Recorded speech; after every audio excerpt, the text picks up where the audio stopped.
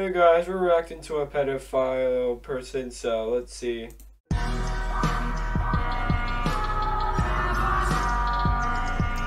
Dumbass bitch.